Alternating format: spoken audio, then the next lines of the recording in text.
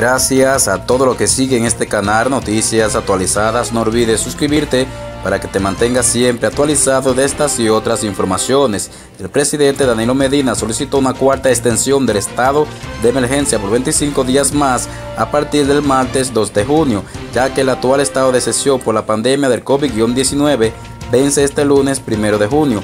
La solicitud del estado de mandato se produjo este miércoles 27 de mayo en una carta enviada al presidente en funciones del Senado de la República Dominicana, Aristide Victoria Y, quien confirmó la información. Se recuerda que el estado de emergencia fue aprobado por primera vez a partir del 19 de marzo. La oposición que domina en la Cámara de Diputados ha manifestado que no aprobaría otra extensión pasado viernes 15 de mayo, el Senado de la República Dominicana aprobó la prórroga por 15 días de estado de emergencia, como fue modificado en la Cámara de Diputados el jueves 14, luego de que se aprobaran en el mismo Senado los 25 días que solicitó el presidente de Danilo Medina.